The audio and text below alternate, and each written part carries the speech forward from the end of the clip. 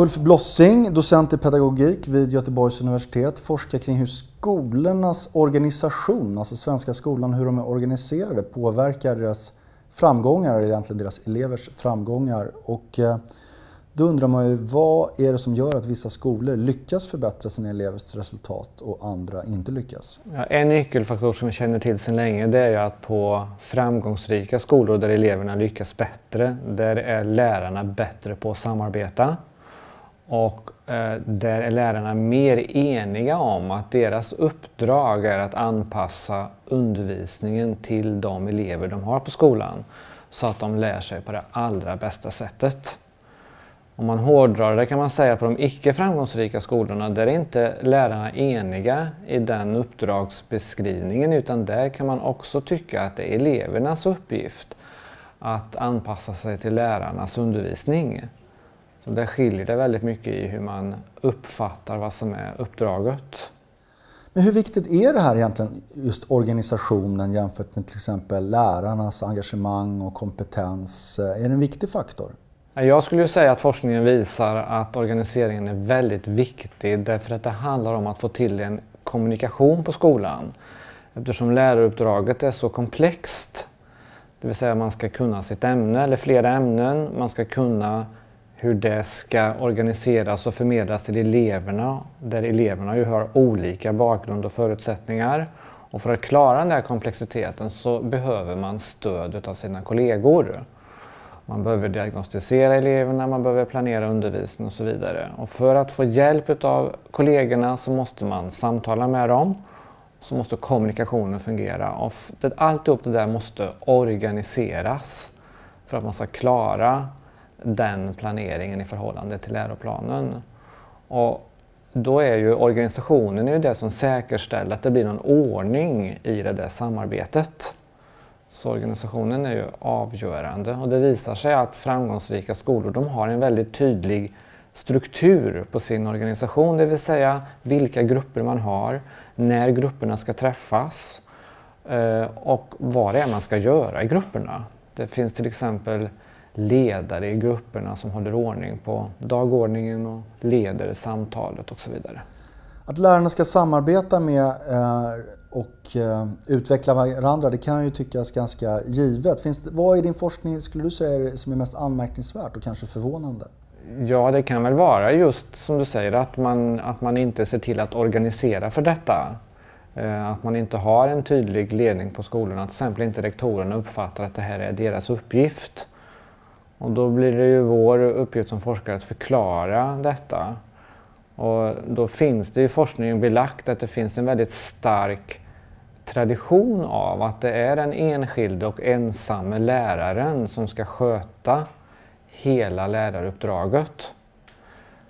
Och sen så har ju vi jobbat i Sverige med att försöka ändra på det och tänka att skolor inte är platser för enskilda lärare utan skolor är platser för en organisation där lärare går samman. Och det kan väl tyckas lite märkligt att det ser ut på det viset. Men det finns en föreställning om att skolor inte är organisationer utan skolor är behållare för enskilda företagare eller för enskilda lärare.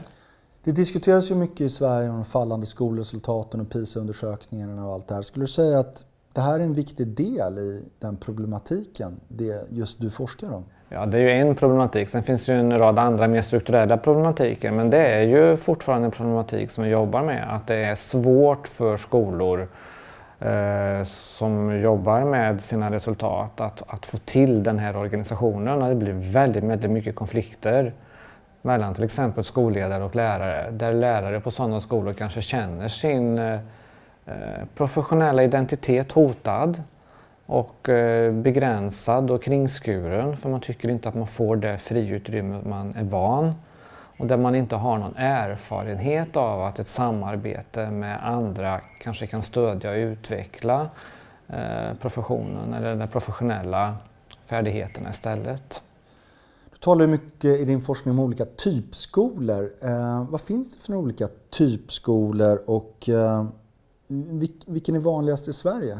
I forskningen så finns det många sådana beskrivningar men en, en enkel sån beskrivning det är ju att det finns tre typer av skolor. Det vill säga det finns de som är professionella som då är de här som är framgångsrika. Och så finns det i andra änden de som är särboskolor, det vill säga de skolor där man har grupper av lärarna. Lärare som kör sitt eget race, som har sin eh, egen uppfattning om vad uppdraget i skolan handlar om. Och mittemellan har man eh, den familjära skolan som är väldigt trevlig, där man har ett till det yttre ett bra samarbete men där man ändå inte lyckas så bra med resultaten. Men det vi har gått vidare med är att titta lite mer i detalj på det här för att se hur det kan variera. Och då har vi ju hittat att skolor har väldigt egna idéer om hur man ska driva utvecklingsarbete. Till exempel har vi skolor som vi har eh, benämnt vara planeringsstyrda, där man har en idé och en tro på att planerar vi bara tillräckligt bra så kommer vi att få den framgångsrika skolan. Eller så har vi den idéstyrda skolan där man tänker sig att om bara lärarna ges helt fritt utrymme här att omsätta sina egna idéer, då kommer vi få den framgångsrika skolan. Och vitsen med, med, med den forskningen den handlar ju om att visa på att det utvecklas väldigt unika idéer om hur man ska organisera den lokala eller enskilda skolan. Och ska man förbättra en skola, ja då måste man först ta reda på vad är det för idéer som finns på den här skolan? Vad är det lärarna och rektorerna på den här skolan tror är framgångsrikt?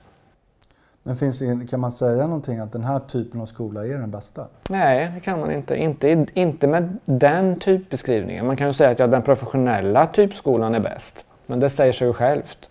Men man kan inte säga att den planstyrda skolan är bäst eller den idéstyrda, för det beror ju på i vilken utveckling skolan är. I en fas kan det vara så att en skola mår bra av att betona eh, planeringsaktiviteterna för man behöver bli bättre på det. I en annan fas kan det vara så att man mår bra av att betona eh, kreativiteten och idéerna för man kanske har lagt locket på i andra sammanhang. Vad skulle du säga att politiker kan lära sig av den här forskningen? Ja, politiker borde lyssna mer på rektorerna och deras berättelser om vad det är för eh, skola de jobbar i. Eh, och anpassa stödet, alltså kommunalpolitikerna borde anpassa stödet till de lokala enskilda skolorna eh, bättre. Att eh, kanske inte så ofta anamma generella kvalitetssystem och så vidare som inte tar hänsyn till eh, de lokala förhållanden som råder. På riksnivå skulle jag säga att man skulle uppmärksamma och ta vara på de faktiskt kommunala experiment som pågår och som har gett bra resultat tack vare decentraliseringen och lära sig av det. Ehm, och att man kan sprida det då på riksnivå mer än vad som görs idag. Är vi helt enkelt för dåliga på att lära oss av de bra exemplen och ta till oss av dem? Ja, vi är för dåliga på att lyfta upp de lokala och kommunala exemplen och sprida dem.